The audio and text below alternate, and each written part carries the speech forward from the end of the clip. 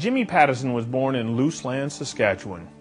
He and his family moved to Vancouver in 1935, where a young Jim Pattison spent many of his teen years playing the trumpet and organ at an evangelical mission on Vancouver Skid Row. Today, the Jim Pattison Group of Companies is the third largest privately held company in Canada. Jimmy, as he's known, says a business hall of fame provides young people with a venue to learn from past visionaries.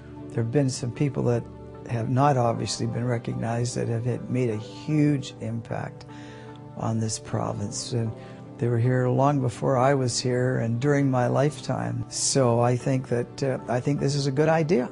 I once asked Jimmy Pattison what the biggest challenge in running a successful business was. He told me it was people. He meant you need people who see life a little differently.